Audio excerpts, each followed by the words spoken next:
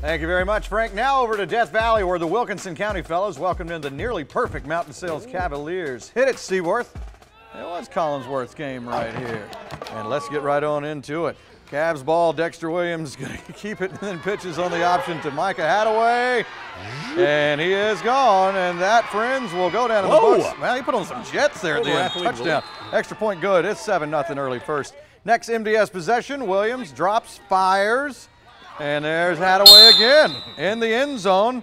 Extra point no good this time, 13 0 Cavs. Later on, Williams on the keeper will get outside, and then he will get knocked out right there at the two. Cavs would score on the next play to lead 20 0 late first quarter. Second quarter now, Jackson drops, fires, and hits Antonio Hollings in the middle of the defense, and he takes it deep into Cavalier territory. First down, Wilco.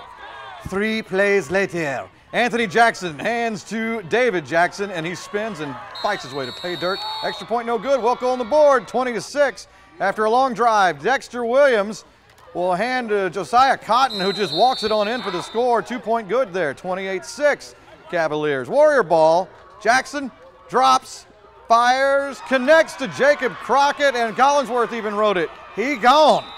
It is 28-12 after the extra point is no good. Play of the day nominee, keep an eye. Jackson throws. Jackson Schofield. He's there for it. He's got one man, and it's Jackson. He jukes oh, him. Oh, That was a nice move. And then he gone again. 85 yards later. It's in the house, 35-6 at the half. Zaxby's FFN scoreboard, they are still on fire. 57-12.